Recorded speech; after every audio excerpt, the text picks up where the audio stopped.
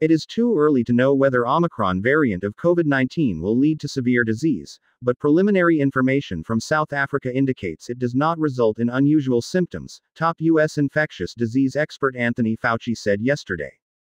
Fauci said there were 226 confirmed cases of the variant in 20 countries as of yesterday morning, but Omicron had not been detected yet in the US. Fears about the variant have rattled financial markets and sparked concerns about the strength of the global economic recovery as the world continues to fight the coronavirus pandemic. It is very difficult to know whether or not this particular variant is going to result in severe disease, Fauci told reporters in a briefing.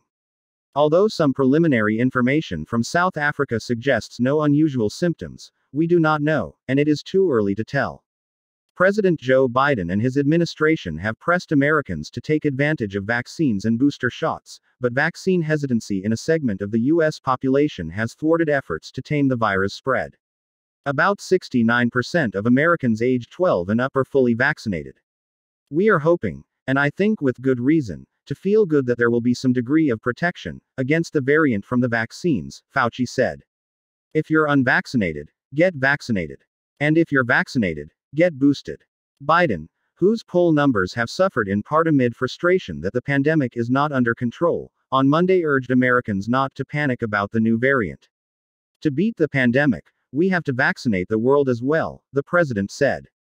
Asked yesterday if the U.S. was doing enough to vaccinate the rest of the world, Fauci noted the U.S. was doing more than other nations.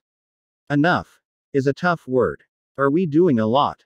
We are doing an awful lot, he said.